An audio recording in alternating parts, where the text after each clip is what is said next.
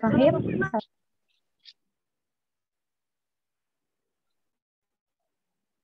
Ya, Alhamdulillah wa syukurillah, puji syukur kita panjatkan kehadirat Allah Subhanahu wa taala atas berkat rahmat dan karunia-Nya.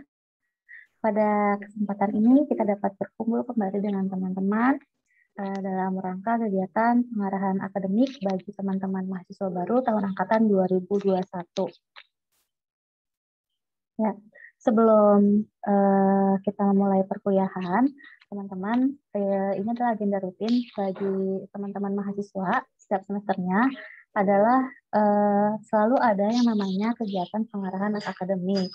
Nah, pada pengarahan akademik eh, siang hari ini ada dua agenda. Yang pertama akan ada eh, sosialisasi mengenai perkuliahan e-learning dari Bapak Udi Nuryawan dan juga yang kedua ada kegiatan eh, mengenai pengarahan kebijakan akademik dari Bapak Dian Ade selaku Wakil Ketua Akademik uh, Wakil Ketua Satu Bidang Akademik Senek Cirebon.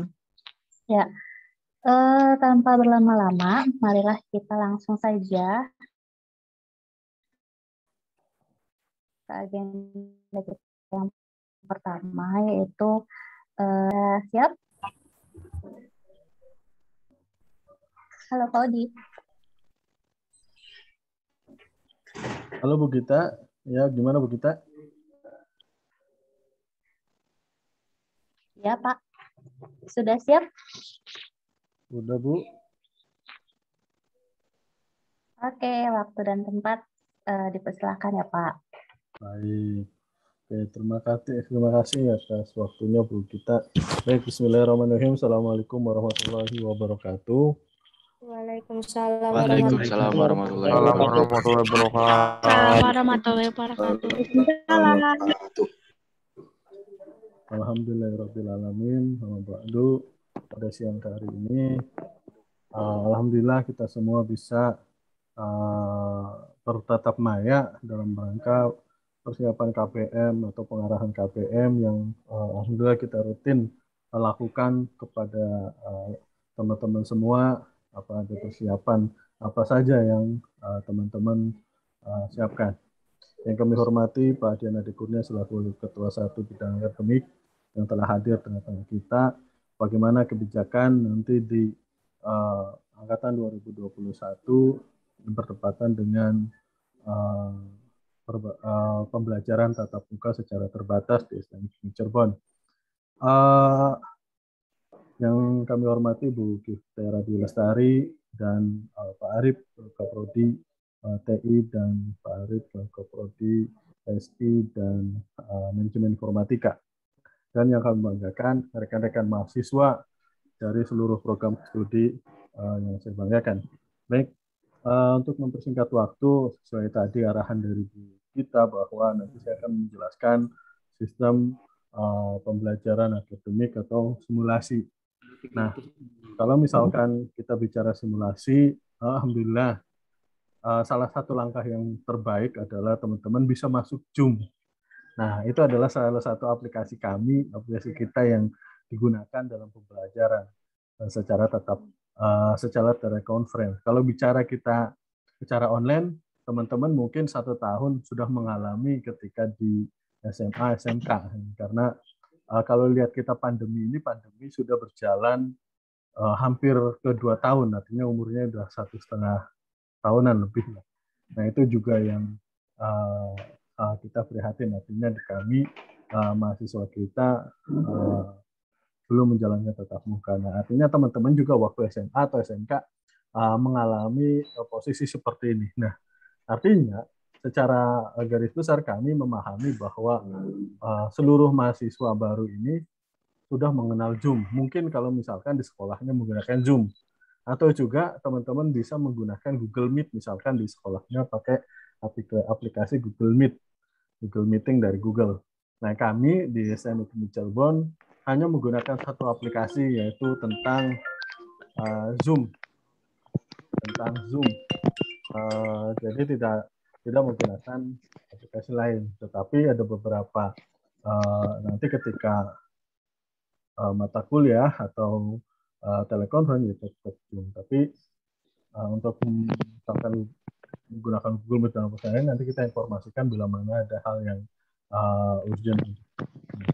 Baik, uh, secara garis besar kami sudah memahami teman-teman ketika sudah masuk di acara ospek kemarin, artinya uh, untuk Zoom ini uh, 100% tidak ada kendala. Cuman yang satu kendala yaitu adalah bagaimana internetnya bisa stabil dari awal sampai akhir. Nah itu juga perlu di uh, apa namanya dipertimbangkan di teman-teman di rumah. Oke, mayoritas kita kan ya saya juga saya pribadi dari uh, desa kalangan desa teman-teman mungkin ada yang sebagian dari kota teman-teman sebagian dari desa. Nah itu juga harus diperhatikan nih teman-teman semua. Jadi internet di rumah teman-teman uh, itu harus diperhatikan. Karena ini masih ada yang setengah tatap muka ada eh, 30% tatap muka 30% persen telekonferensi 30% persen learning Nah, artinya kalau penggunaan Zoom saya rasa tidak ada masalah, cuman yang permasalahannya adalah bagaimana uh, internetnya bisa stabil. Nah, bagaimana kalau misalkan uh, internetnya tidak stabil, Pak? Nah, boleh teman-teman cari provider yang stabil, misalkan uh, saya tidak uh, tidak menganjurkan harus menggunakan teman-teman harus menggunakan Telkomsel semua, enggak. Jadi silakan sesuaikan provider di uh, lingkungan teman-teman semua. Artinya uh, ada plus minus setiap provider juga. Nah, saya sebut aja misalkan saya di uh, uh, saya tinggal di Cirebon ketika pulang ke desa uh, apa namanya Indosat tidak memiliki sinyal yang baik gitu, tetapi desa lain uh, Indosat sangat baik. Nah, itu juga tergantung pada uh, kondisi sinyal yang kondisi internet yang ada di teman-teman. Jadi silakan disesuaikan providernya dengan baik. Lalu Pak, bagaimana sistem perkuliahan di Cirebon? Nah, uh, sebenarnya saya sudah jelaskan ketika di aspek kemarin bahwa kami akan menyelenggarakan kegiatan tatap muka atau uh, pembelajaran terbatas itu dengan tiga kategori. Nah, tiga kategori. Pertama adalah 30% uh, dari angkatan teman-teman itu akan menjalankan tatap muka di kampus. Oke ya. Jadi 30% dari angka teman-teman uh, akan di, belajar di kampus. Nah, 30% lagi teman-teman akan standby di Zoom. Nah, seperti ini. Dan 30% lagi teman-teman akan standby di learning. Jadi teman-teman 30% nanti kita akan uh, tatap muka itu juga harus melalui persyaratan yang uh, tadi yang waktu ospek saya jelaskan. Uh, pertama, teman-teman mendapatkan izin dari orang tua.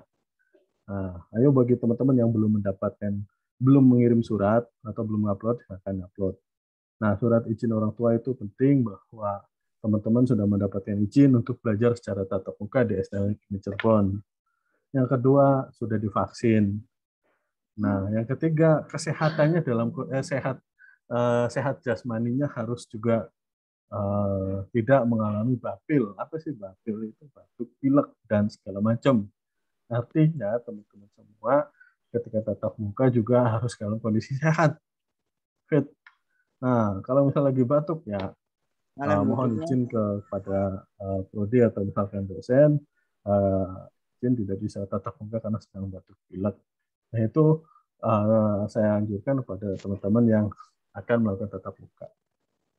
Di sini ketika teman-teman tatap muka uh, juga dianjurkan untuk uh, melakukan uh, prokes juga secara ketat, tidak uh, tidak sembarang uh, membuka masker. Karena saya di saya buka masker saya dan Bu Gita beda ruangan. Jadi tidak saya ruangan sendiri Pak Dian ruangannya sendiri Bu Gita ruangan sendiri. Jadi bisa bisa buka masker.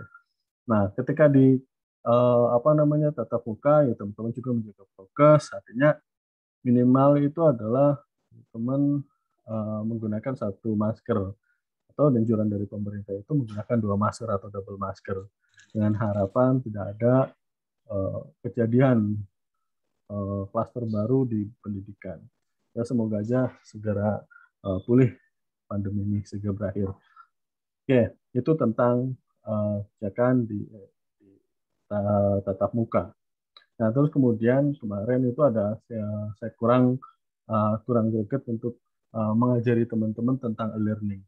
Nah, e-learning itu kita menggunakan yaitu uh, smart learning. Jadi teman-teman ketika sudah mendapatkan akun atau misalnya email, biasanya user dan passwordnya itu email sama email. Uh, usernya email, emailnya misalkan 412 sekian sekian. Nah, usernya masih default, masih default. Jadi teman-teman nanti ketika sudah uh, mendapatkan user dan passwordnya dari tim IT, tim e-learning, nanti segera di perbaharui atau diganti dengan uh, password teman-teman yang privasi. Nah, saya share uh, smart learning-nya. Saya buka dulu.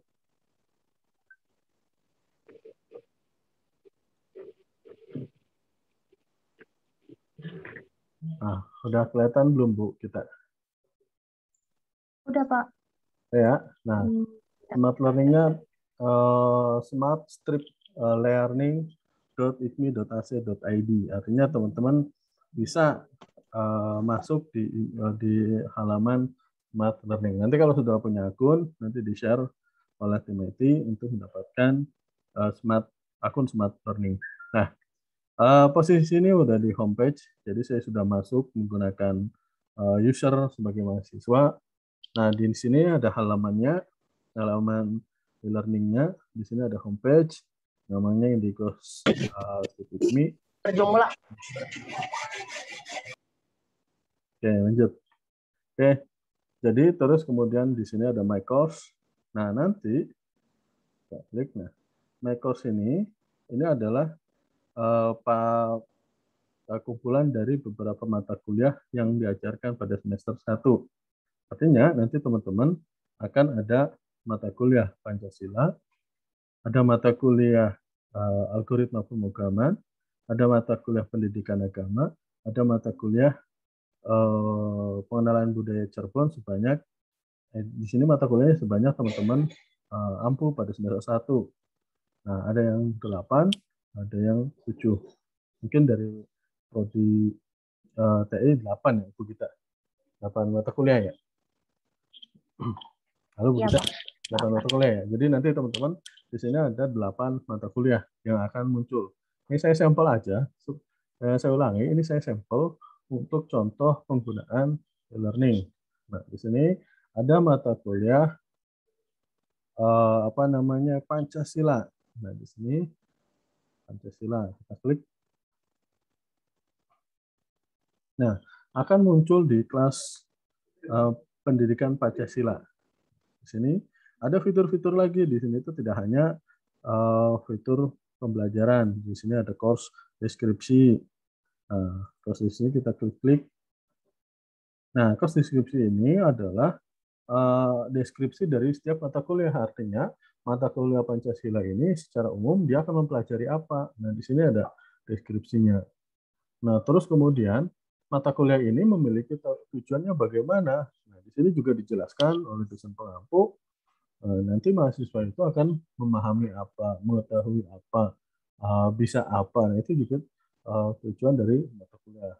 Nah, terus kemudian konten pembelajaran. Jadi nanti teman-teman itu akan belajar apa saja sih. Nah, kita bisa lihat di di deskripsi tadi fitur deskripsi. Nah, terus kemudian fitur konten mata kuliah. Nah, ini ada pertemuan atau modul satu tentang konsep urgensi pendidikan Pancasila dan tujuan pendidikan Pancasila dan kontrak perkuliahan di, di, di pertemuan pertama atau modul satu.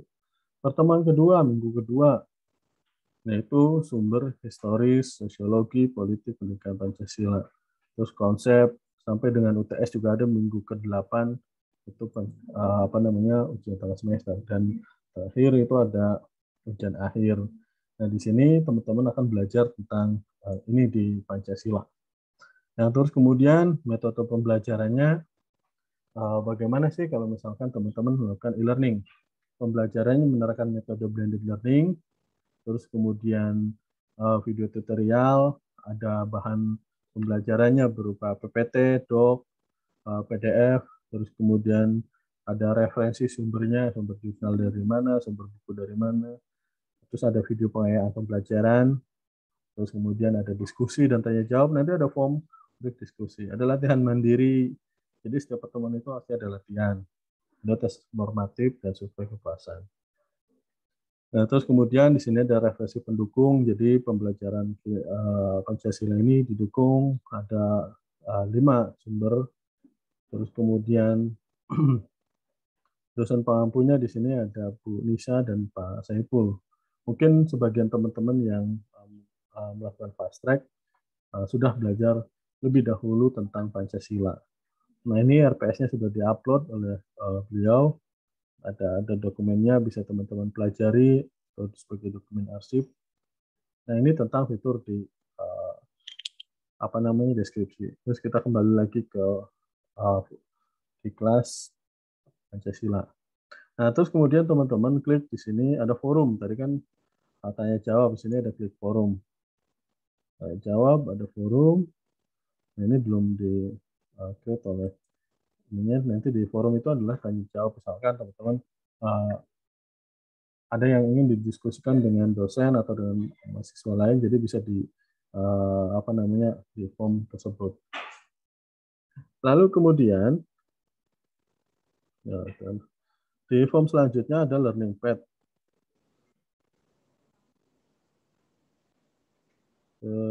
learning pad di sini nah di sini teman-teman ketika mengakses mata pelajaran pertama, eh, sorry, uh, pertemuan pertama, klik Learning Pad. Misalkan, nah di sini. Ini contoh yang uh, sudah dibuka semua. Jadi ada 8, 15 pertemuan. Artinya nanti ketika nanti pelajaran itu akan dibuka per pertemuan. Jadi teman-teman kalau misalkan sekarang ini dalam minggu pertama, jangan sampai teman-teman buka di minggu kelima. Nanti akan nggak nyambung. Jadi belajar per step dulu. Istilahnya kalau misalkan teman-teman itu, kalau anak bayi itu kan nggak mungkin ujuk-ujuk mereka harus berjalan.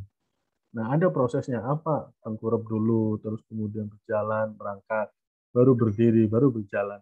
Nah, teman-teman juga sama ketika pembelajaran itu ada 16 16 pertemuan. Jangan nanti ketika uh, dibuka semua oleh dosen, jangan ambil saya ngambil ngacak misalnya pertemuan 5 habis pertemuan 5 pertemuan 7 7 8 16 sudah selesai. Dilewat semua itu enggak bukan gitu. Tapi per step. Nanti kalian kebingungan kalau misalkan loncat-loncat karena uh, pertemuan satu dan pertemuan selanjutnya terintegrasi jadinya saling menyambung. Jadi ketika pembelajaran uh, dibuka semua jangan ujuk-ujuk ah saya hari ini ngakses semua ngerjain semua. Nanti bingung sendiri hasil outputnya bagaimana. Nah itu uh, dibuat per step satu pertemuan kedua pertemuan ketiga dan sampai 16 ya seperti itu. Nah kita coba masuk ke pertemuan satu. Pertemuan satu konsep urgensi pendidikan pancasila nanti uh, rekaman ya video uh, pertemuan kali ini saya record di uh, YouTube nanti saya share buat teman-teman bagaimana uh, belajar di rumah Eh, sebelum memulai uh, nyoba fitur bisa lagi putar ulang. Artinya teman-teman teman-teman sekarang sudah uh, posisi sebagai mahasiswa. Artinya pola pikir teman-teman itu dirubah, pola pikir teman-teman itu beda dengan waktu SMK, SMA atau sederajat. Jadi uh, kalau misalkan ada dosen yang menjelaskan, simak dulu, pahami dulu. Ketika tidak bisa, tidak paham, baru teman. Tapi kalau misalkan nggak uh, nanya, ya Eh, salah juga kalau misalnya tidak paham. Jadi ketika ada videonya, ada materinya, teman-teman pelajari dulu, pahami. Nah kalau misalkan tidak paham baru nanya. Jangan kebalikannya, belum buka video, belum belum buka pelajarannya, tahu-tahu sudah nanya duluan, padahal di materi sudah ada, sudah terjawab. Nah itu juga bisa teman-teman kondisikan. Artinya sama seperti ini, eh, edukasi kepada teman-teman bahwa ketika eh, pelajaran Zoom dimulai, teman-teman semuanya semua mute, semuanya Eh, tanpa disuruh, tanpa disuruh dosen, tanpa disuruh oleh admin, tanpa disuruh oleh yang lain, ketika Zoom dimulai semuanya mute. Nah, ketika dosen sudah atau pemateri sudah menyampaikan uh, ini dan membuka sesi tanya jawab, silakan teman-teman tanyakan. Oh iya Pak, saya belum paham ini bagaimana. Nah itu adalah TikTok diskusi. Nah itu juga tidak tidak di tidak ada materinya, tetapi secara uh, pembelajaran ini adalah edukasi, edukasi kepada teman-teman bagaimana mengungkapkan argumennya. Nah, ini tidak diajarkan di dalam mata kuliah, tetapi secara uh, learning, pembelajaran, teman-teman bisa uh, memahaminya. Nah, ini akan bermanfaat ketika teman-teman nanti uh, di uh, lulus di dari IPMI bekerja di suatu perusahaan, nah itu juga akan bisa uh, bisa berjalan disiplin tersebut. Nah, oke, okay, kita kembali lagi ke tes pertemuan satu. Nah, di sini pembelajaran minggu pertama. Nah, di sini ada beberapa fitur yang teman-teman harus mencapai dengan kondisi 100%. Nah, ini kalau misalkan baru buka, nanti ini adalah 94, jadi belum 100. Nah, hal yang pertama teman-teman lakukan adalah mulai dari pertama. Klik pertama itu apa sih? Pertama, satu, dua, tiga. Jangan, di sini juga jangan mengacak, ah saya nomor satu. Tujuan dulu, habis tujuan pengantar topik, nanti nggak nyambung gitu. Jadi uh, kita sudah mendesain, sudah membahas struktur yang uh, agar dimudahkan oleh mahasiswa, jadi per step membukanya. Sampai dengan kondisi nanti ini akan meningkat menjadi 100%. Kalau teman-teman baru buka ini nol. Nah, kalau misalkan uh, di sini sudah di atas 90, artinya teman-teman uh, bisa dikategorikan sebagai uh, sudah akses atau sudah memenuhi absen. Nah, di sini klik tujuan. Tujuan capaian pembelajaran. Nah, di dalam pembelajaran ini, di materi pertama ini teman-teman bisa apa sih nantinya? Nah, di sini menerapkan pemikiran logis, kritis, atau implementasi pengetahuan pendidikan Pancasila dapat menjelaskan kedudukan Pancasila. Nah, artinya kan pemikiran logis dan kritis. Nah, itu itu juga tujuan dari pertama-tama. Terus kemudian yang kedua nih, udah kedua. Nah, kita cek ada apa di bagian dua. Nah, struktur konten pertama-tama nanti teman-teman akan belajar di topik pertama itu adalah dia uh, Pak dosen atau Bu dosennya itu adalah tentang kontrak kuliah dan pendidikan Pancasila. Nanti akan membahas tentang hal ini. Topik kedua itu menanyakan alasan yang diperlukan pendidikan Pancasila. Itu topik yang akan dibahas pada pertemuan kali ini. Nah, makanya tujuannya kenapa Eh, teman-teman supaya step step step satu dua itu adalah untuk mengikuti alurnya dan bisa dipahami. Nah ini video zoomnya konferennya ini bisa di uh, nggak usah diklik karena misalkan teman-teman menggunakan uh, apa namanya e-learning bisa diklik aja. Terus kemudian selanjutnya adalah top pengantar topik satu. Tadi ada dua topik. Nah sekarang topik pertama Nah, teman-teman silahkan baca. Selamat datang di mata kuliah pendidikan Pancasila. Nah, ini adalah motivasi dari dosen yang tertulis di dalam learning. Nah, silahkan baca dulu apa yang didapatkan dari uh, apa namanya pengantar topik ini. Ini maunya apa sih? Nah, nanti disampaikan uh, di dalam pengantar. Teman-teman baca pelan agar supaya bisa memahami. Terus kemudian bahan hajar. Nah, bahan hajar topik klik step by step.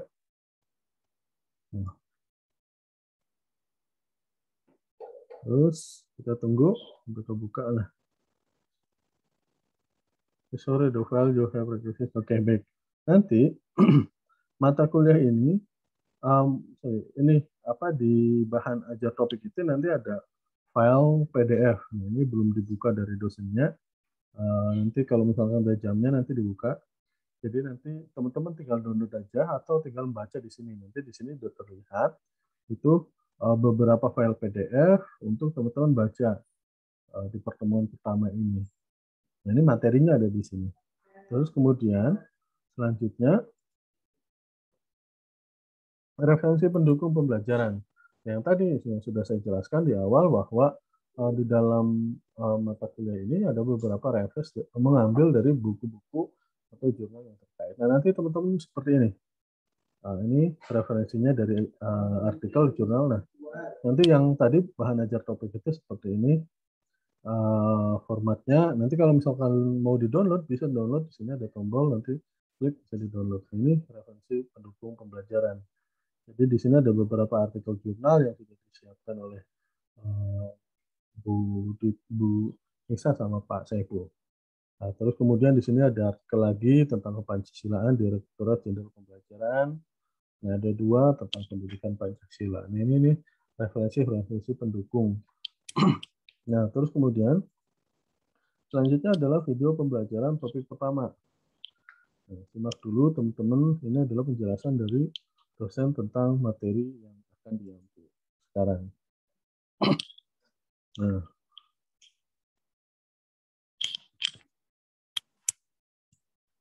nah kita klik di sini, klik, nah bisa disimak. Pendidikan Pancasila adalah nah. Bu kita suara Pak Ipul kedengaran nggak? Dari video play ini. Halo? Bu, kita kedengaran nggak? Enggak. Coba di play lagi.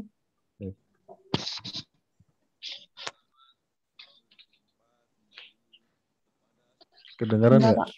Enggak. Enggak. Oke, baik. Itu adalah nah di dalam video ini ada pembelajaran apa langsung di video yang dibuat oleh dosen eh, terkaitan dengan eh, materi pendidikan Pancasila. Nah, teman-teman tinggal disimak pelan-pelan. Nah, nanti jika eh, eh, ada pertanyaan, gunakan forum diskusi pada pertemuan satu di bawah. Nah, di situ nanti akan dibalas oleh dosen. Nah, ini video pembelajaran yang dibuat oleh dosen. Lalu kemudian uh, ada video pengayaan. Video pengayaan adalah video pendukung dalam materi kali ini. Nah, kalau tadi kan video uh, pembelajaran pendukung itu ada uh, pembelajaran pendukung itu ada di referensi pembelajarannya. Nah, bagaimana kalau misalkan sudut uh, sudut pandang dari uh, apa namanya dari para ahli dalam bentuk uh, video. Baru lihat ada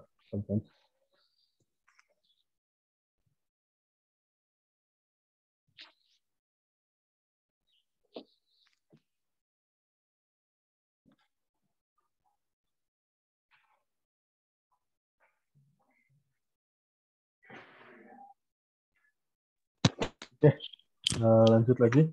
Nah, video pengayaan ini adalah video-video yang dikumpulkan oleh dosen uh, berkaitan dengan kepancasilaan. Nah, Pancasila uh, diambil dari berbagai sudut pandang para ahli. Nah, ini ada video rekamannya dan ada videonya bisa disimak dengan baik. Nah, ini tujuannya apa? Untuk mendukung uh, pembelajaran di pertemuan pertama itu berhasil. Jadi tentang tadi ke uh, mengapa sih kita mengambil Pancasila? Nah, ini didukung oleh uh, para ahli dalam uh, video. Nah, ini mendukung video pengayaan. Nah, terus kemudian topik kedua, ketika sudah selesai, topik pertama itu ada ada yang nggak paham, silakan teman-teman di fitur paling bawah itu ada namanya diskusi pertemuan satu. Nah, ini silakan ditanyakan. Jika hal ada jika ada beberapa hal yang teman-teman tidak bisa memahami tentang materi yang diajarkan, nah, itu ada forumnya. Terus yang kedua itu adalah topik kedua, yaitu tentang alasan diperlukan pendidikan Pancasila kita klik dulu apa sih pengantarnya supaya teman-teman bisa dipahami dengan baik. Nah, di sini silakan teman-teman dibaca ada kata pengantar dari uh, Bu uh, Nisa dan Pak Saiful. Nah, terus kemudian selain itu bahan ajar topik kedua. Ketika sudah dibaca, next ke bahan ajar topik kedua. Nah, bahan ajarnya sudah ada nih. Ini seperti ini. Terus kemudian kita baca. Nah ini materi-materi yang ada di e-learning itu teman-teman bisa di-download. Nah di sini ada linknya. Nah klik.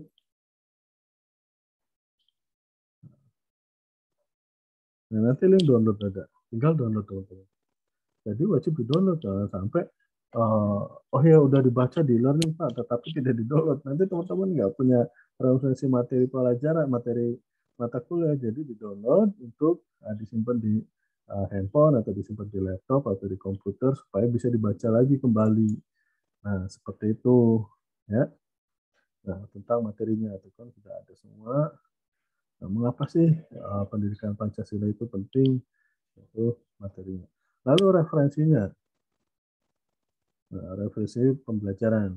Referensi referensinya, klik kita teman-teman referensi.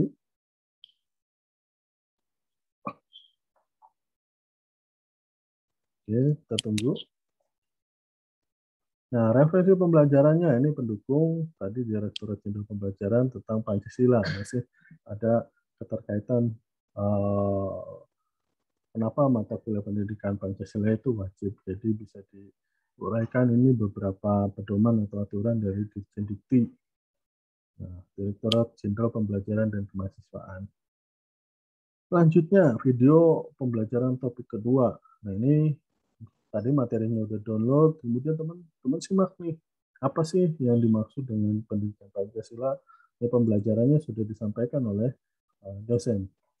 Nah, ini kita klik lagi. Share. Nah, di sini ada materi.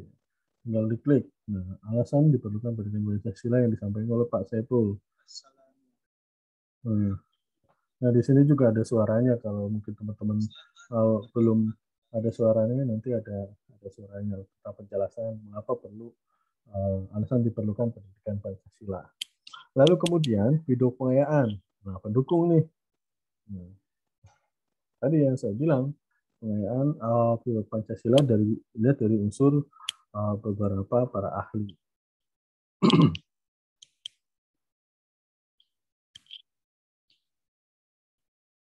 Nah, ini alasan dibalik urgensi pendidikan Pancasila dari sudut pandang uh, para ahli. Jadi teman-teman tinggal klik, nanti kalian dengarkan, simak. Jadi teman-teman bisa mendapatkan pengetahuan yang jelas kenapa harus menggunakan Pancasila. Uh, kenapa juga uh, apa namanya Pancasila itu dilambangkan dengan burung Garuda. Kan ada silsilahnya burung Garuda, uh, kepakan sayapnya bermakna apa dan bermakna apa itu kan ber, bermakna bagi negara. Nah itu juga nanti bisa dibahas di pendidikan Pancasila. Nah terus kemudian tadi bila mana eh, teman-teman dari topik satu dan topik kedua itu adalah uh, ada beberapa hal yang ingin ditanyakan, maka silakan klik diskusi. Di sini teman-teman klik diskusi untuk menanyakan. Ini belum dibuka, jadi oh expired ya nanti dibuka lagi. Jadi kalau misalnya ada diskusi, silahkan uh, tulis nama, NIM, terus kemudian pertanyaan yang uh, teman-teman ingin tanyakan. Nanti dijawab oleh Pak Saiful sama Bu. Lalu kemudian ada tes. Nah, tadi latihan di tes pertemuan satu. Oke, kita tunggu.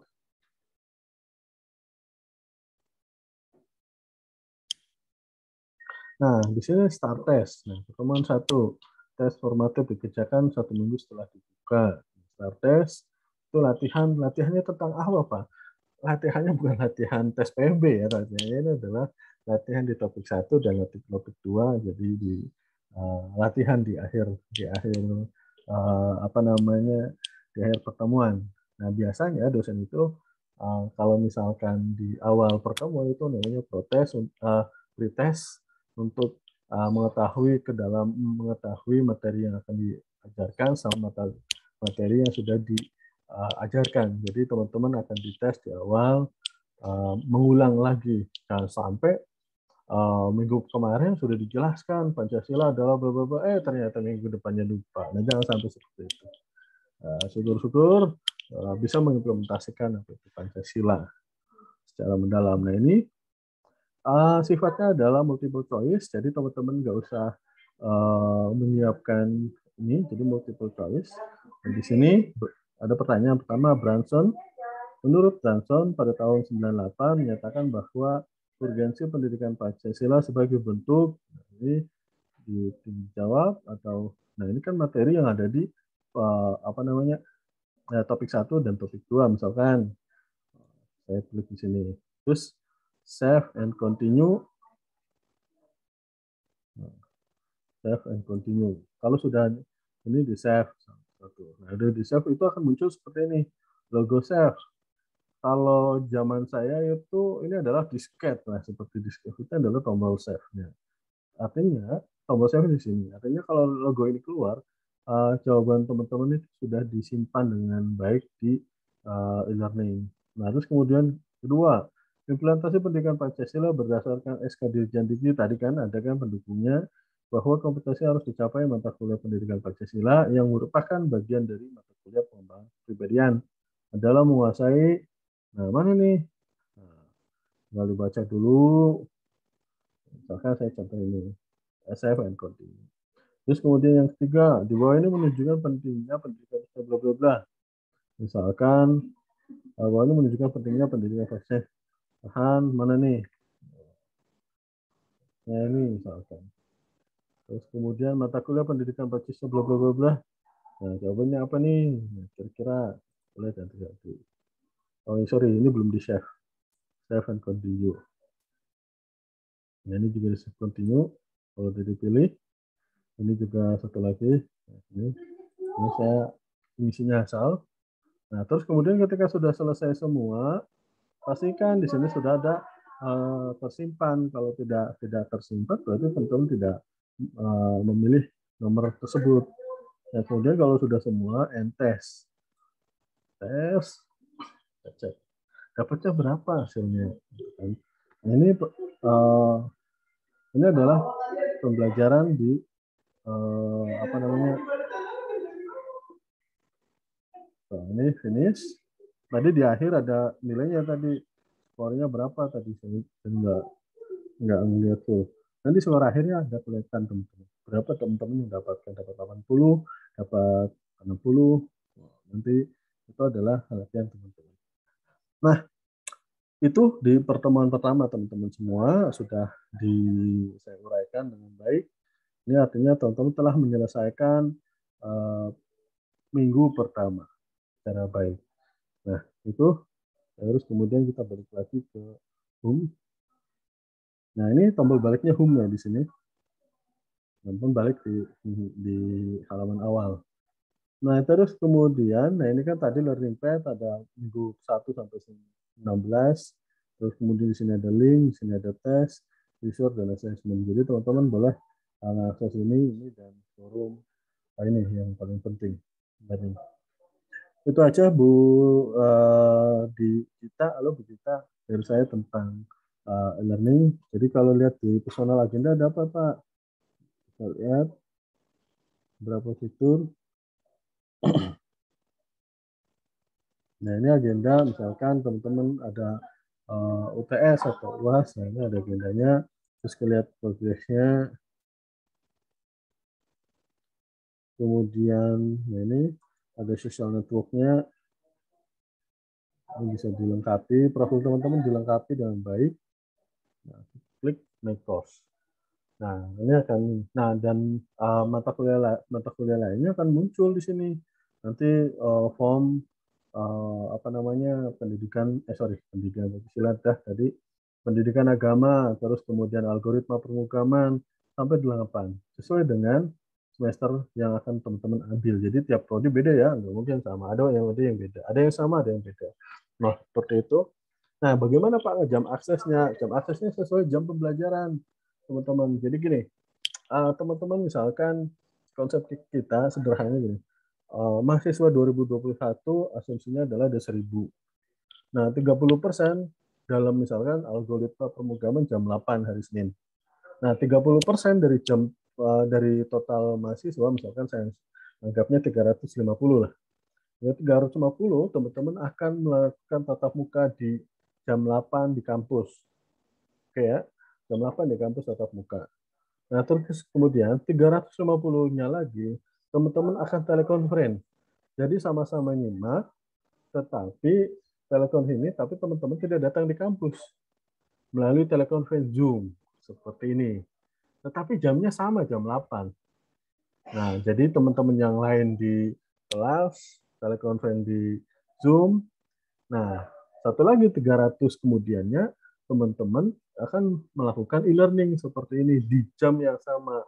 Jadi jam 8 itu ada kelompok A yang akan tatap muka, ada kelompok B yang akan mengakses uh, dari rumah telekonferensi melalui Zoom 30 300 lagi misalkan itu ada di learning standby di learning seperti ini.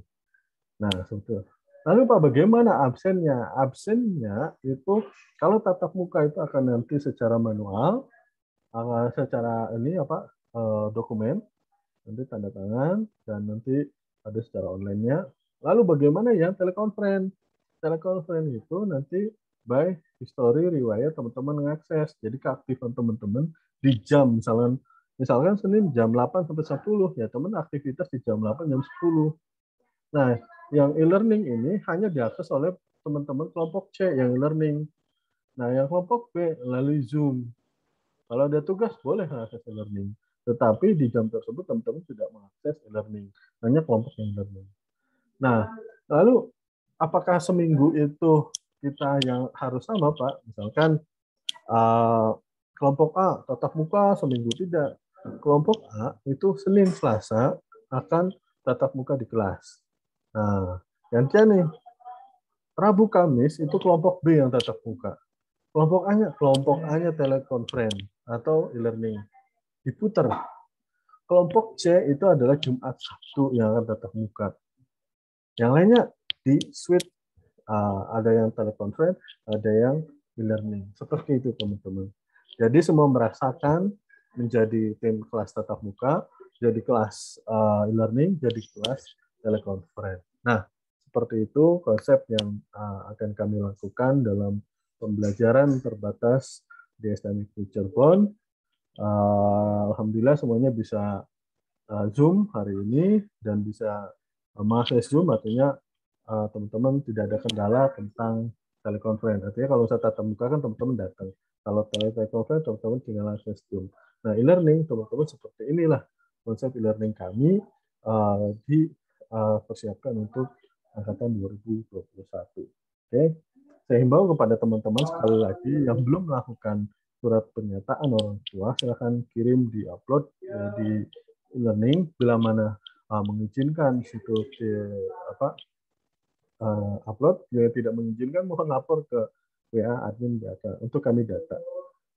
Itu saja Bu uh, Dita. Halo Bu Gita. Terima kasih. Bila ada hal yang ya, ditanyakan, silakan buka tanya jawab dari saya sebelum ke Pak Dian. Oke, okay. uh, eh, sebentar. Baik, eh, teman-teman. Uh, tadi sudah dijelaskan oleh Bapak Odi Nurdiawan mengenai uh, bagaimana cara teman-teman untuk perkuliahan e-learningnya dan juga tadi sudah sedikit dijelaskan seperti apa konsep pembelajaran di semester 1 yang akan teman-teman uh, hadapi nanti gitu ya. Kemudian uh, bila ada yang masih ingin ditanyakan seputar um, apa konsep perkuliahannya, mekanisme perkuliahannya, teman-teman bisa raise dulu, nanti uh, saya persilakan untuk uh, langsung menyampaikan pertanyaannya. Nah, sebelum kita mulai tanya jawabnya, teman-teman bisa lihat di kolom komentar, ada link untuk absen, silahkan diisi. Oke, pertanyaan pertama mungkin ini dari Uh, Riki Pajri, silahkan. Mas, Mas apa Mbak ya ini? Silahkan di unmute. Ya. Assalamualaikum warahmatullahi wabarakatuh. Waalaikumsalam warahmatullahi wabarakatuh. Nama saya Riki Pajri dari Prodi TI. Pak, saya ingin bertanya uh, soal yang jauh gitu daerahnya Pak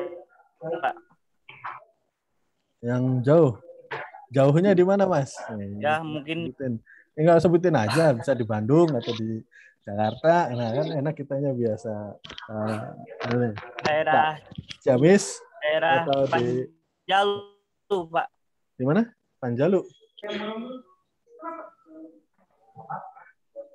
Halo? Ciamis, Pak. Ciamis. Nah, itu bilang di Ciamis gitu. Oke. Okay uh, untuk teman-teman yang uh, jauh ini artinya uh, pertama itu yang tadi saya bilang. Pertama teman-teman uh, boleh nggak diizinkan untuk uh, dari orang tua untuk uh, melakukan pembelajaran di STM Future Bond itu kan sebagai dasar kami bahwa teman-teman akan belajar secara tatap muka. Jadi uh, diisi dulu itu. Diisi dulu terus kemudian uh, setelah itu uh, teman-teman sudah divaksin atau belum. Jadi itu juga sebagai dasar kami untuk mengatur kembali uh, apa namanya tatap muka ini. Jadi dasar-dasar kami untuk mengupload uh, kelompok itu adalah teman-teman sudah vaksin atau belum, terus kemudian kondisi sehat, uh, terus kemudian dapat izin orang tua. Nah itu juga uh, harus dipertimbangkan uh, dari uh, apa namanya dari prodi. Jadi teman-teman uh, yang dekat, misalkan dia lagi batuk pilek ya kita juga uh, mengizinkan uh, mahasiswa tersebut untuk hadir di tatap muka. Tapi yang jauh juga misalkan, oh saya sehat, terus kemudian dapat izin orang tua sudah divaksin juga dengan semangat yang tinggi untuk belajar, uh, saya bisa hadir di kampus. Nah di kampus kan seminggu hanya dua kali.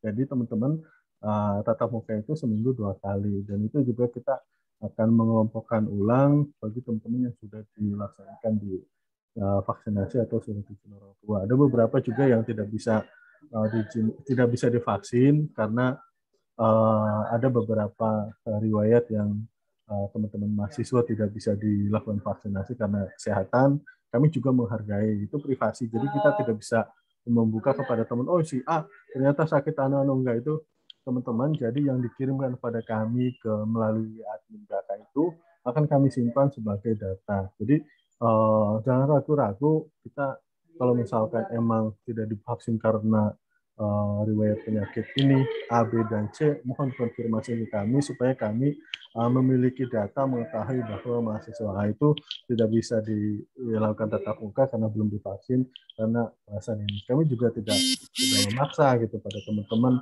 Oh, oh harus divaksin ini. Kalau ada punya riwayat ini ini kalau nggak boleh sama dokternya ya udah. Itu kan rasional.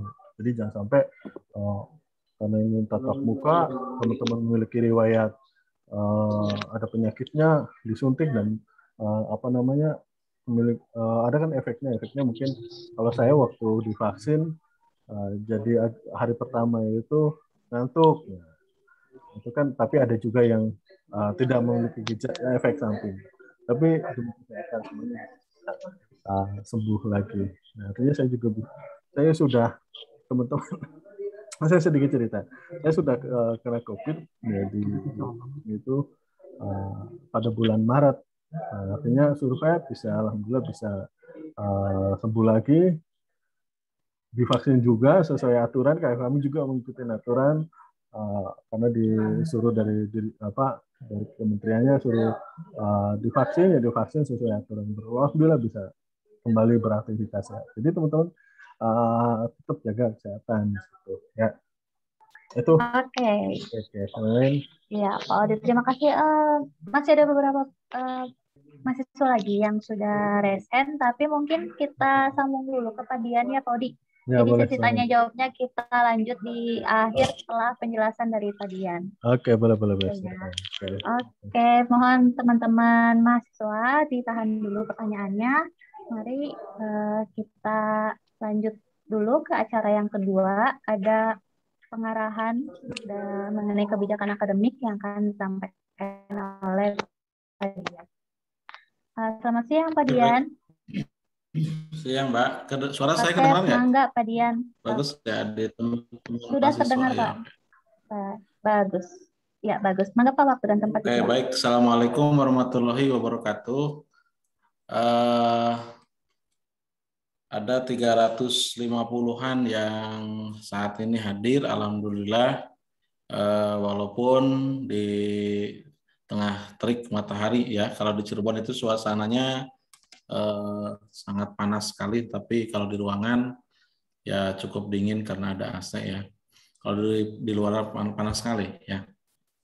Eh, yang ingin saya sampaikan yang pertama eh, terima kasih atas waktunya dan eh, terima kasih kepada teman-teman mahasiswa yang sudah bergabung dan mohon disimak eh, informasi-informasi dari saya khususnya yang mana mungkin saudara-saudara juga khususnya yang ada yang satu hal yang memang uh, sampai saat ini menjadi uh, perjuangan uh, kita semua dalam mengusung bagaimana uh, status usulan uh, beasiswa KIP.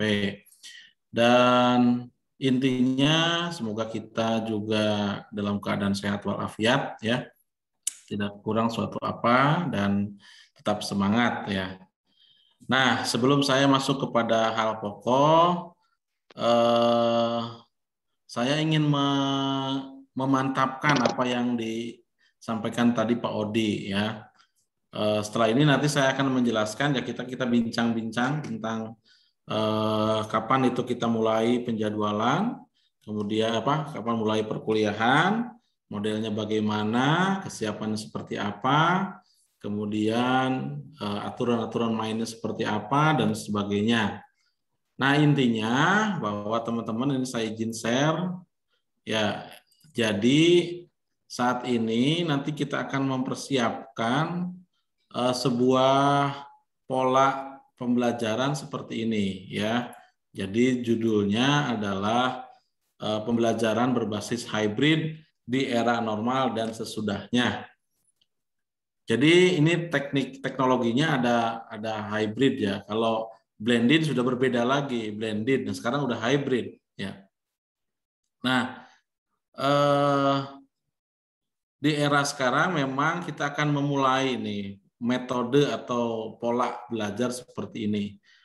Walaupun eh, ini adalah satu hal yang pertama kali kita gunakan. Karena apa? Karena kondisi ya, karena memang kebijakan pemerintah juga ya. Tetapi ya sekarang sekarang ini sepertinya ya mudah-mudahan kasus eh, COVID-19 ini Eh, sudah mulai eh, menurun ya. Semoga tidak ada lagi gelombang ketiga ya. Tidak ada gelombang ketiga. Jadi kita akan mencoba memberanikan diri seperti ini. Nah, sebetulnya apa sih hybrid ini? Nah, ini coba dijelaskan ya. Jadi ini ada ada sebuah pola seperti ini ya. Nah, eh, jadi eh, hybrid learning ini adalah kombinasi dari eh, yang tadinya kita classroom ya. Kemudian eh, pelaksanaannya juga di kelas kemudian terpisah ya.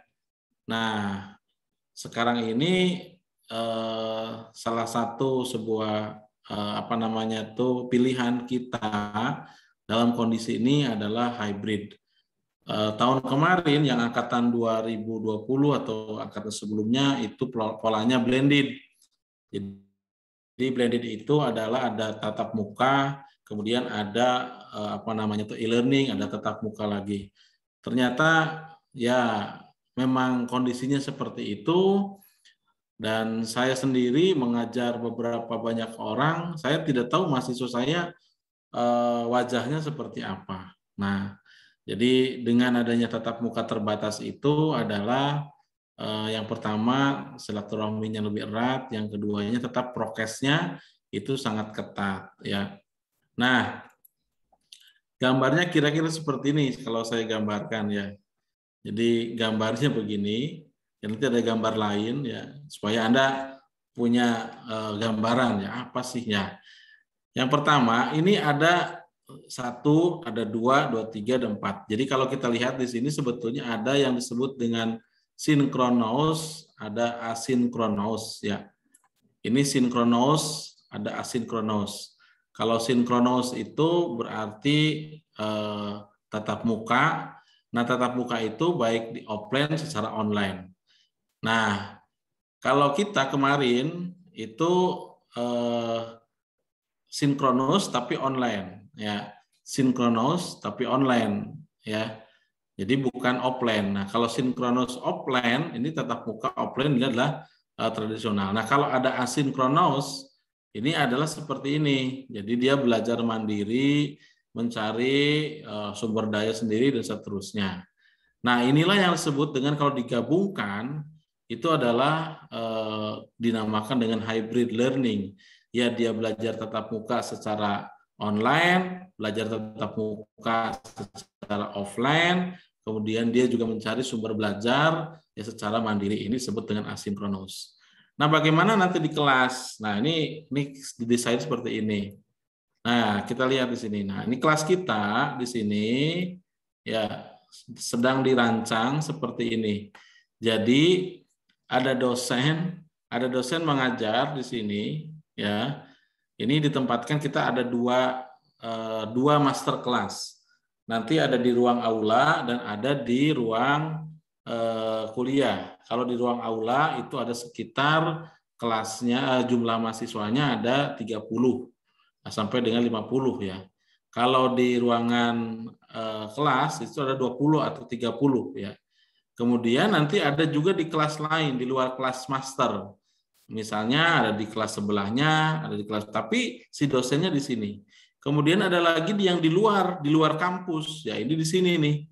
Ya, nah contohnya ini. Nah, melalui video. Jadi nanti di master kelas itu ada dosen ya sedang mengajar, sedang mengajar, kemudian diikuti juga oleh eh, teman-teman eh, di rumah yang eh, apa namanya mengikuti eh, pembelajaran secara online.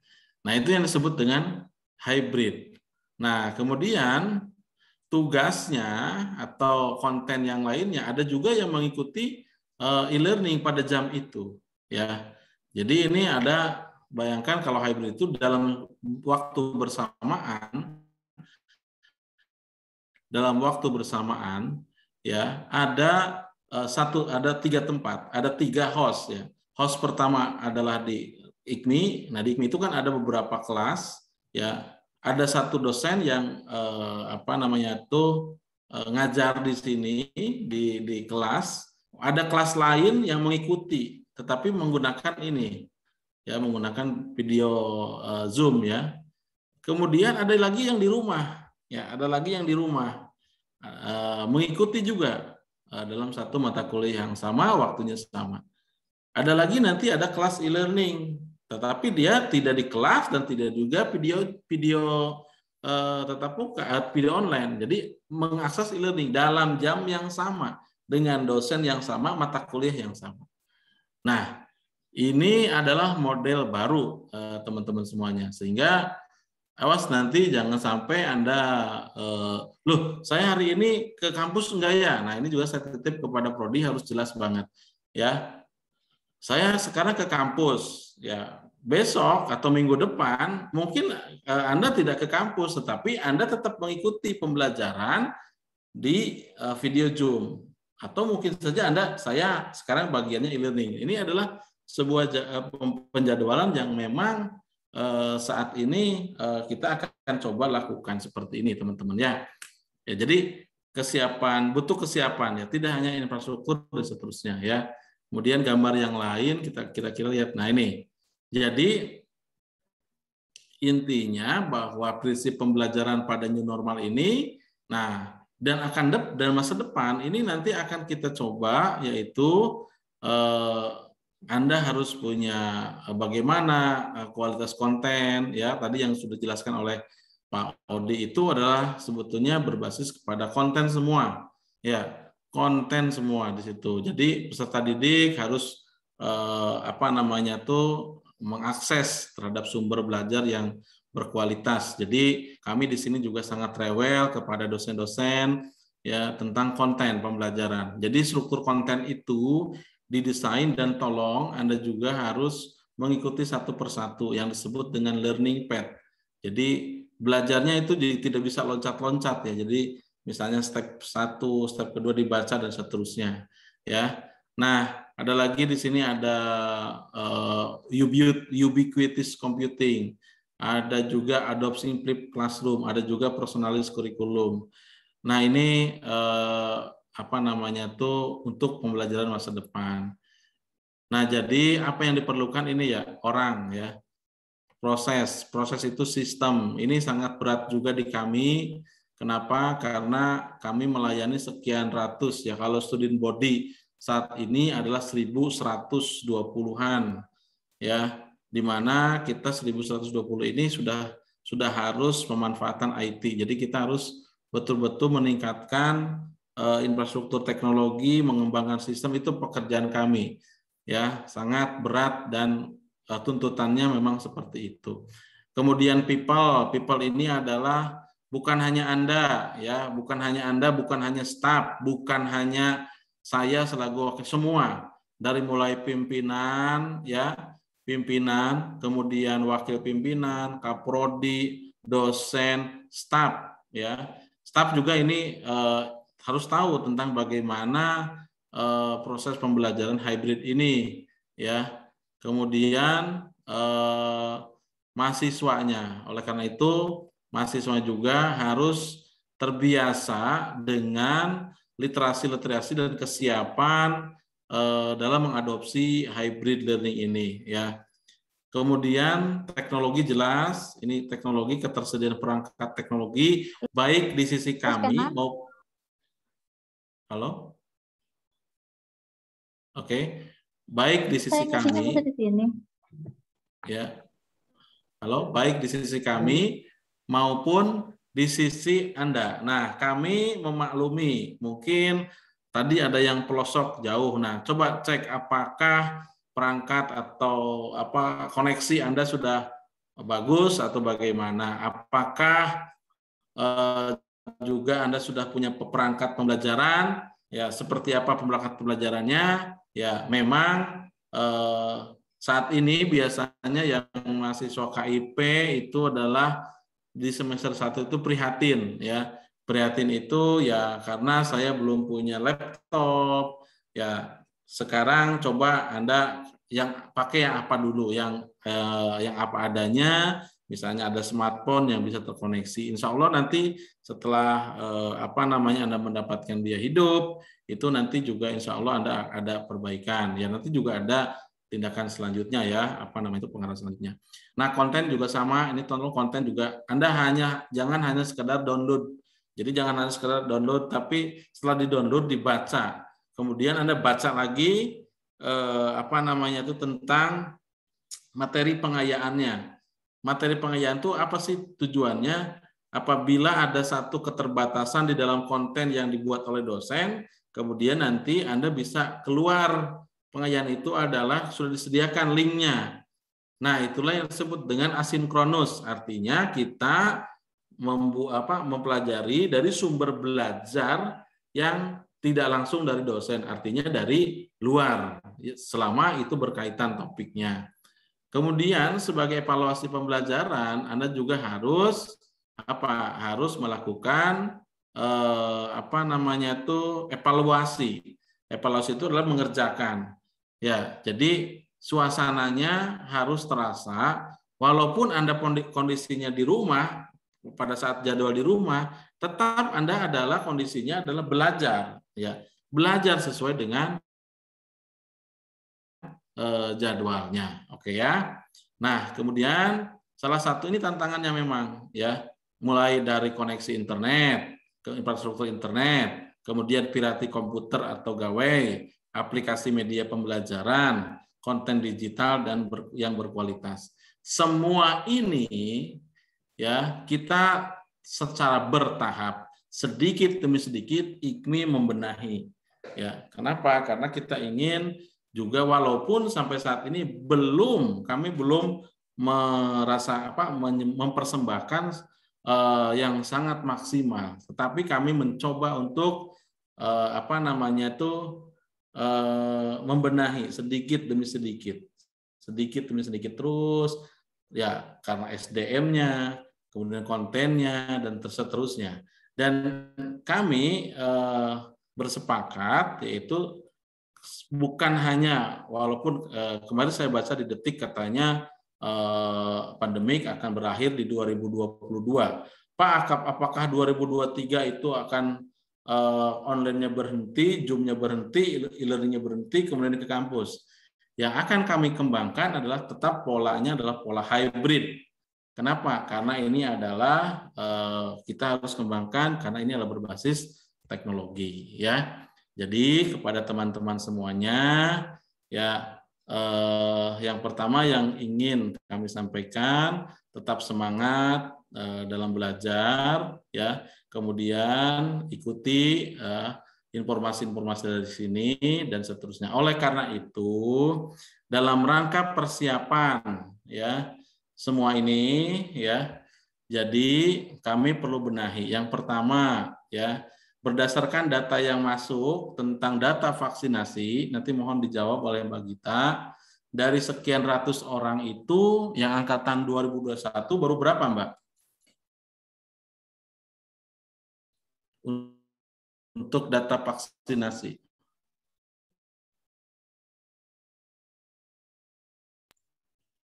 Ya. Oke, sebentar ya Pak. Ya. Jadi bagi yang belum ya melakukan vaksin dan dalam keadaan sehat, kalau divaksin itu harus sehat ya, segera Anda memvaksinasi ya eh, apa namanya berkunjung ya eh, divaksin ya. Kenapa? Karena ya kita di sini eh, harus clear pada saat tatap muka, suatu saat juga nanti akan akan kebagian nih tatap mukanya, maka di sini Anda harus eh, apa namanya tuh eh, safety ya harus eh, sudah divaksin minimal pasti vaksin dosis ke satu. Kenapa demikian? Karena kami masih eh, belum mendapatkan 100% data yang belum divaksin ya. Nah, Izin Pak, kemudian tadi ada yang berapa Mbak? Pak Dian. Ya, Ya. Untuk angkatan 2021 baru 121 Wah, orang ini. yang mengisi data sudah Nah, divaksin. ini dia. Jadi kami juga karena apa? Karena kami harus izin satgas dan seterusnya ya. Jadi mohon eh, vaksin itu adalah bukan berarti eh, sudah divaksin bebas COVID, tetap, tetapi itu adalah paling tidak antisipasi ya. Ya, jadi kami eh, masih menunggu data tersebut. Eh, segeralah divaksin. Kemudian eh, bagi yang jauh tadi ya, Pak Odi tadi ada yang jauh ya, ada yang jauh dari mana nih? Dari Ciamis dan seterusnya. Itu juga tetap nanti insya Allah akan kebagian tatap muka, Mas. Karena eh, saat ini regulasi yang ada itu belum ada yang namanya ini kan karena kondisional. Pandemik ini karena memang eh, apa namanya force major. Jadi sehingga harus eh, belajar dari jarak jauh, ya pembelajaran dari jarak jauh. Tetapi pada saat nanti mendekati new normal, jadi tetap Anda harus mengikuti tatap muka yang ada di sini. Entah itu dalam sebulan satu kali, dua kali, atau tiga kali.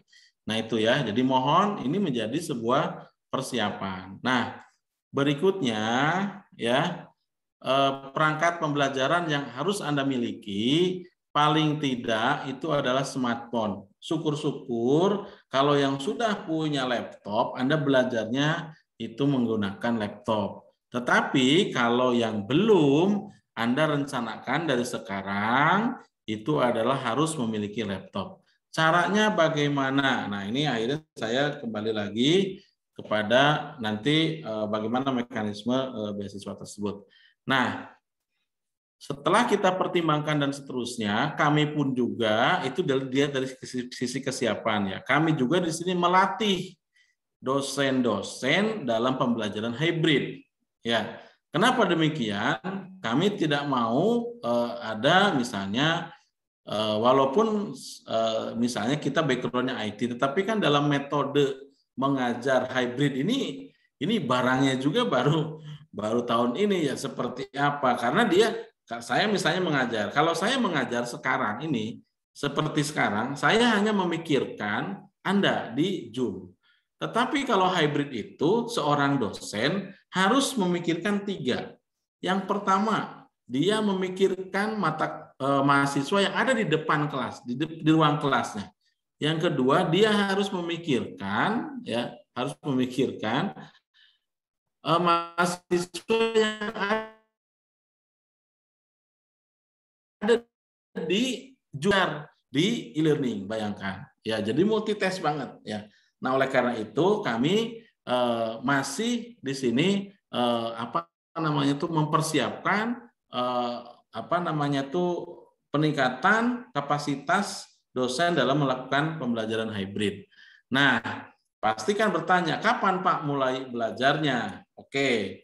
Nah bagi yang sudah kemarin ada beberapa mata kuliah itu yang sudah masuk Uh, ada tiga ya Mbak Gita.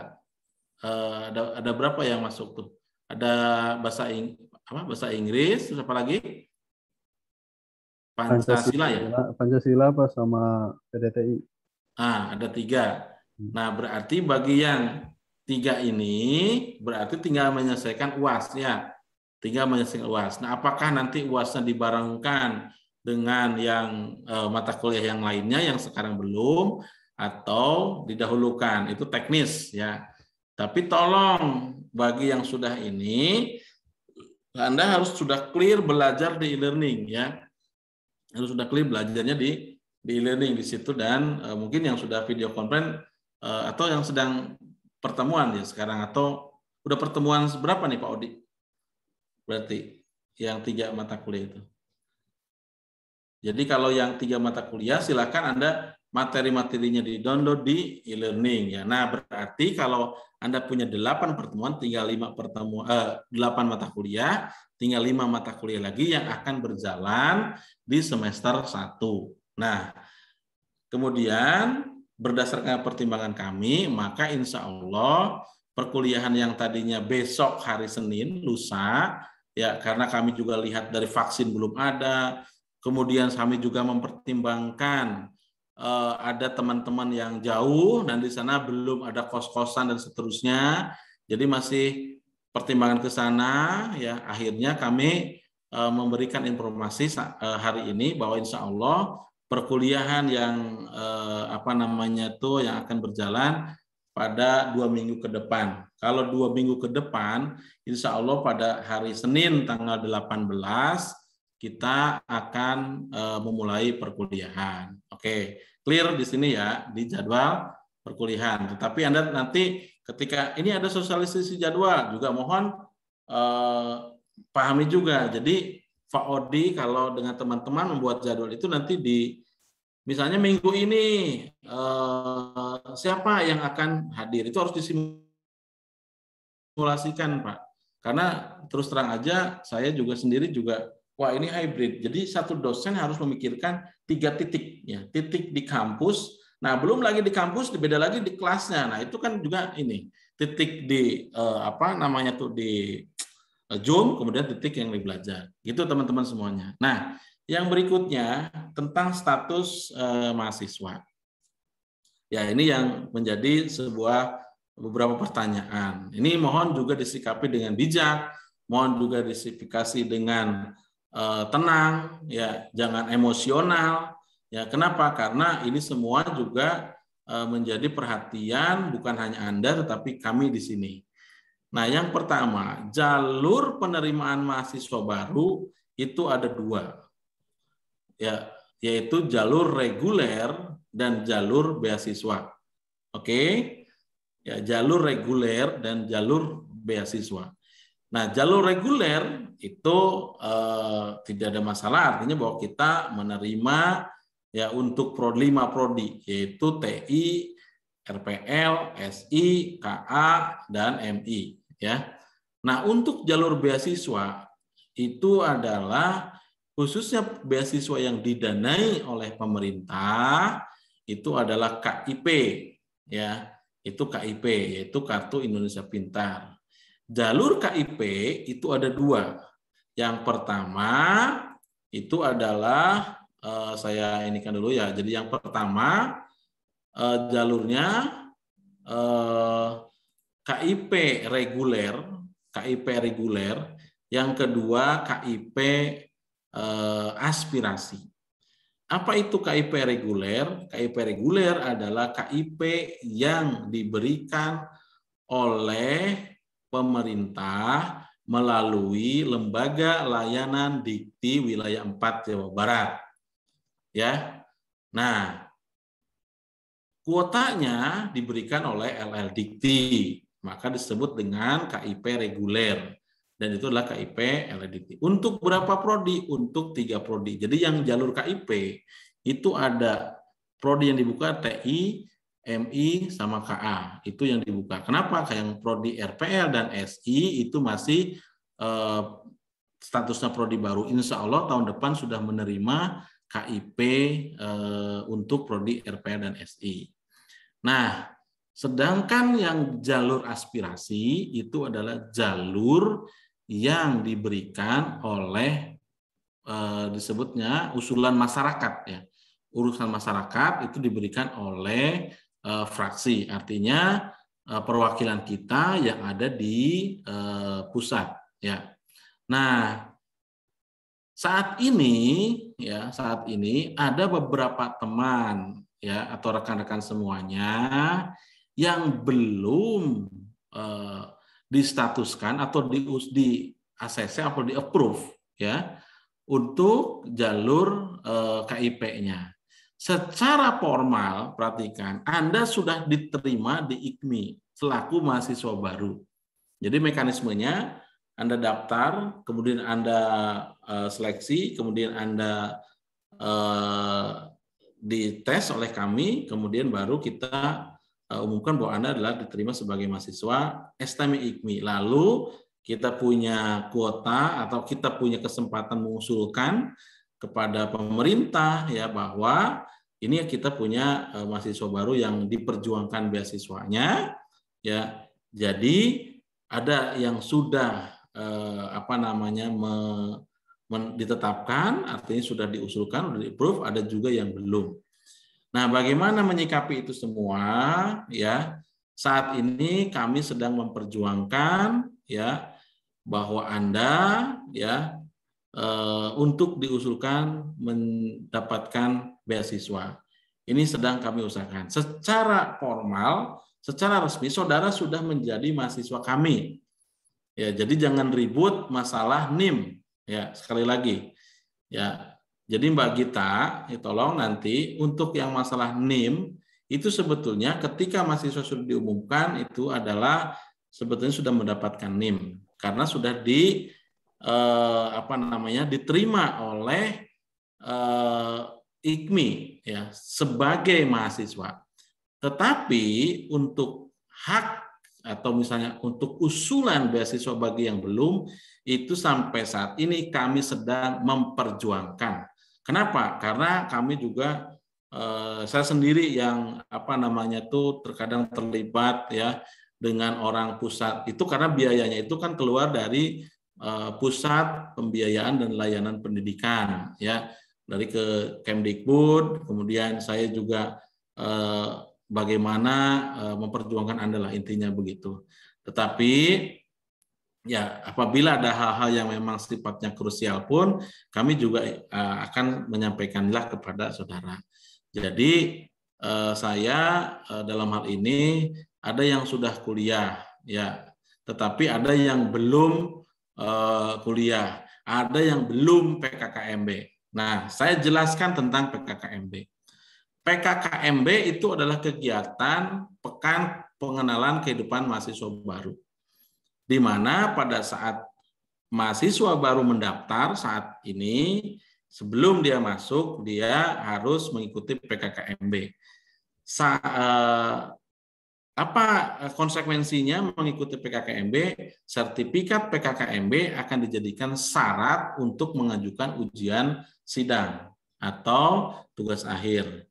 Nah, bagaimana kalau tidak ikut PPKKMB eh, tahun ini? Ada dua permasalahan di situ. Ya, ini sebagai contoh begini. Kami dulu ada penerimaan gelombang satu reguler ya, belum ada KIP. Gelombang satu, gelombang dua, gelombang tiga.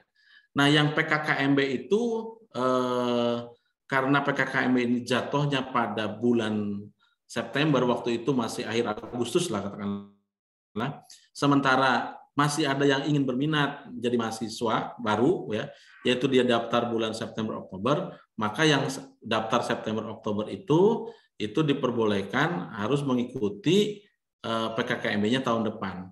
Karena apa? PKKMB tahun yang berjalan itu sudah dilaksanakan pada akhir Agustus.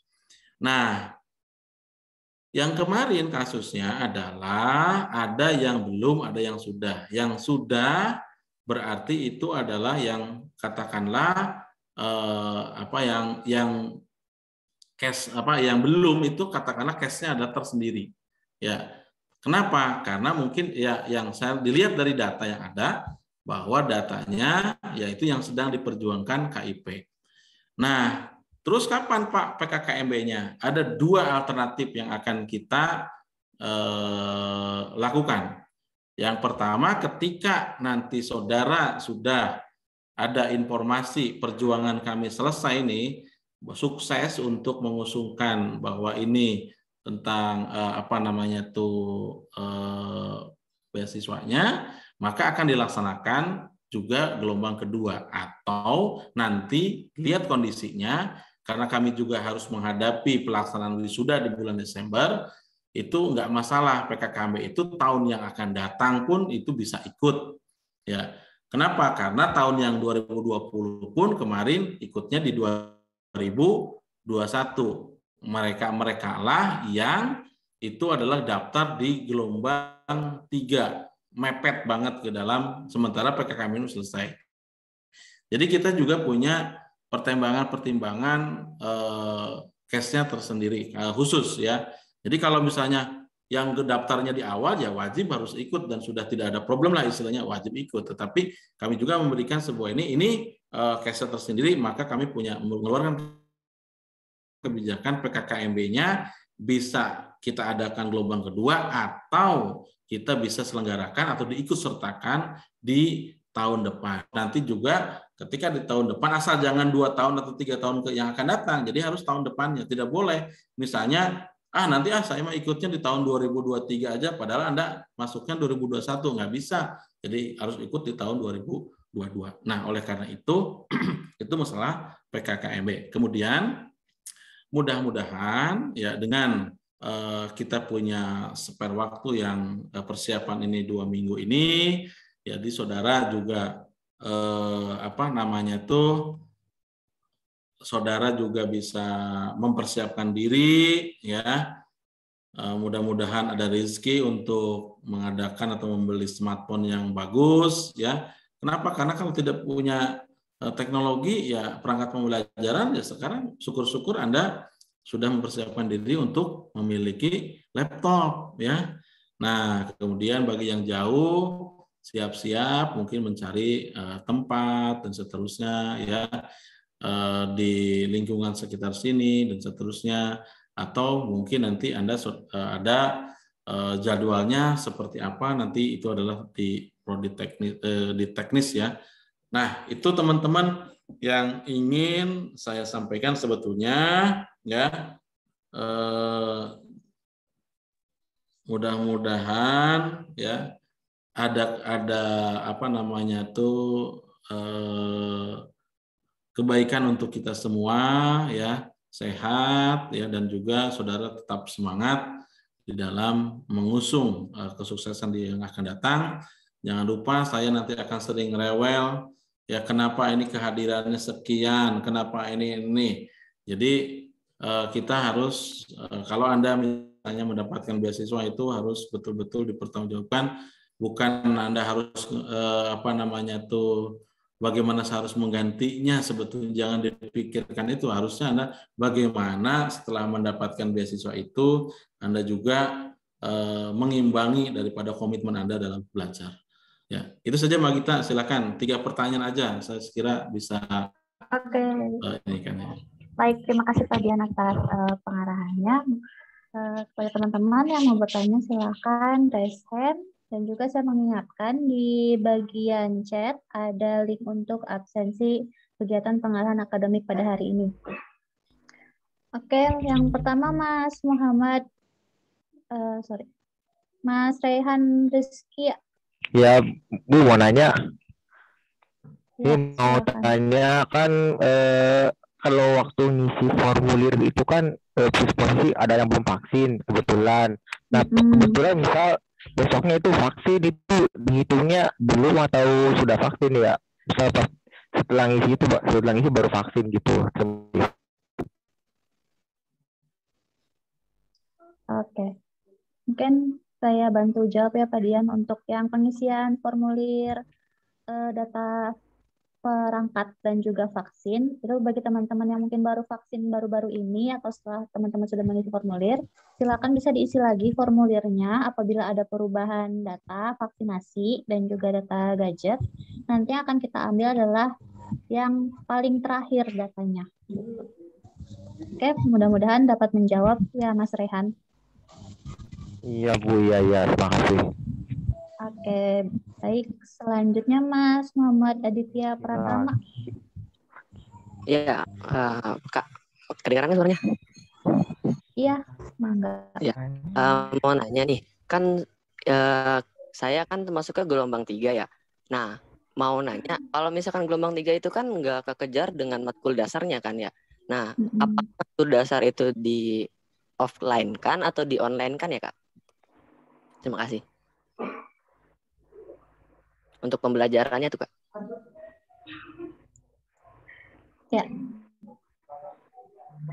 Oke teman-teman, eh, nanti yang tiga mata kuliah yang sudah ada pernah diikuti oleh teman-teman di awal kemarin itu akan diselenggarakan lagi berbarengan dengan semester 1 yang mata kuliah sisanya yang lima mata kuliah.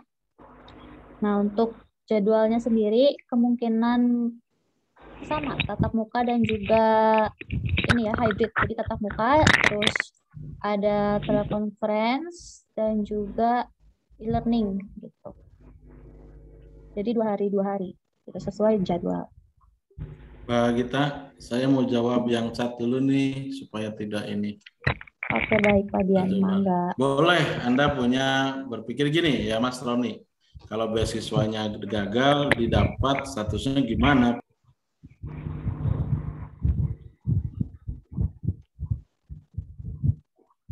Oke, ini memang eh, saya juga bertanya seperti itu. ya. Jadi begini, eh, kita benchmark atau ini ke belakang. Ya, memang ini eh, tahun kemarin itu kita saya saya sampaikan beasiswa yang diusulkan adalah 100% terserap tahun kemarin ya. Kenapa? Bahkan kita eh, kuotanya masih ada tetapi eh, kuotanya tidak ada yang tahun eh, mahasiswanya ya, mahasiswanya tidak ada ya. Sudah selesai tidak ada data lagi ya.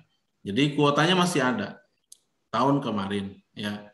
Nah, tahun sekarang ini ada sedikit perbedaan mekanisme ya. Jadi perlu diketahui bahwa eh, untuk yang masalah eh, khususnya jalur aspirasi dan sistem dari tahun sebelumnya dan tahun sekarang. Tetapi pada prinsipnya, insya Allah kami mencoba dan mencoba memperjuangkannya. Ya, jadi kepada teman-teman yang berdoa sajalah, berdoa saja. Mudah-mudahan dari doa saudara juga dari yang sekian orang itu ya ada yang sholat tahajudnya tiap malam ya kan ya kami juga di sini berusaha secara lahir dan eh, mungkin juga ada yang batinnya ini ya Allah ya, sehingga kita bisa eh, mendapatkan tetapi kami tidak diam ya kami tidak diam kami juga sudah eh, apa namanya tuh ke sana kemari ya bagaimana memperlukan saudara termasuk yang kemarin ada satu case di mana ada sekian data yang alhamdulillah tapi udah kita clearkan ya walaupun itu ada sedikit kesalahan di uh, staf kami tapi itu udah clear ya. Nah, jadi wajar ketika saudara punya kekhawatiran seperti itu tapi kami pun juga tidak diam artinya uh, mencoba untuk uh, berusaha sangat maksimal ya. Insya Allah masih ada waktu ya. Insya Allah kita berpikir ini. Jadi eh, jangan pesimis lah kita optimis ya. Nah bukan berarti saudara itu tidak jadi mahasiswa IKMI gitu. Jadi walaupun gini ya contoh ya contoh ya ini nih pahitnya nih tetap anda saudara itu jadi mahasiswa IKMI gitu bukan berarti saudara tidak jadi mahasiswa IKMI itu jadi tolong persepsinya agak di ini ya. Jadi hanya saudara tidak dibiayai uh, pendidikannya oleh uh, pemerintah gitu. Terus saudara punya uh, apa namanya jadi mahasiswa kemahasiswaannya gimana? Ya saudara jadi mahasiswa itu karena udah diterima karena komitmen kami kan sudah menerima saudara sebagai mahasiswa di SM IKMI. Gitu Mas Roni, paham ya? Oke, makasih. Oke, baik Pak Dian ini ada pertanyaan dari uh, yang belum pertanyaannya ap- apakah mahasiswa yang belum dapat KIP ini apa yang belum ditetapkan ini apakah wajib mengikuti perkuliahan dan juga kira-kira kapan uh, ada informasi penetapannya?